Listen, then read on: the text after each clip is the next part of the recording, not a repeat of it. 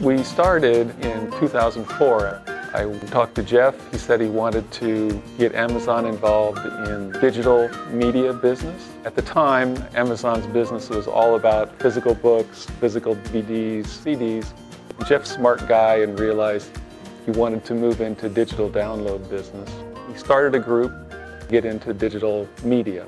So the growth has been amazing. We've grown to include large hardware group, a good-sized software group, and a full operations team. I love the new campus. As we've grown, we've had to spread our groups across floors and eventually across buildings and eventually multiple buildings. Don't be afraid to find something that you love doing.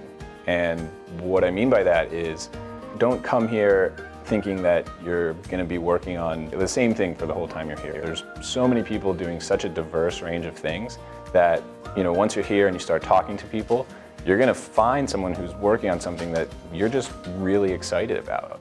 Go find out what are the hard problems in your area. Go find out why those problems are hard.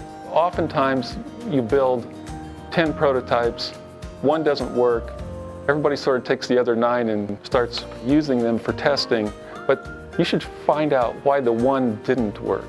Because it's often the case that if you get down to the root cause of why something doesn't work, you'll come up with an interesting solution for that problem. You'll find something you didn't expect.